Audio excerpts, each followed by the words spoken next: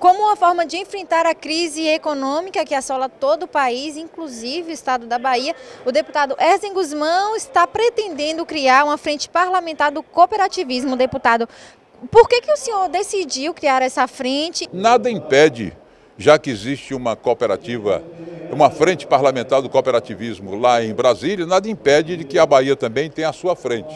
Nós iremos começar a coletar as assinaturas o Eduardo Salles sugeriu que eu ficasse à frente, comandando esta, esta, esta frente parlamentar do cooperativismo, e ele se coloca à disposição para estar ao meu lado, colaborando e ajudando. Portanto, nesse segundo semestre, iremos coletar as assinaturas para implantarmos aqui na Assembleia, aqui na Casa, esta frente parlamentar do cooperativismo. Que vai funcionar de que forma, deputado, se criada? Olha, veja só, nós iremos adequar a realidade, a realidade do Estado da Bahia.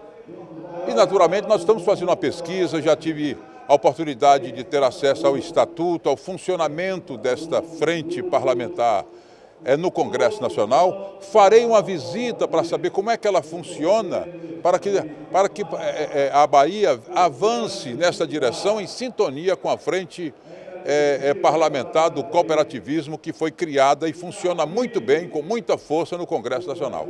Okay, muito obrigada pelas informações. Eu que lhe agradeço. Darlene Martins para o Assembleia Notícias.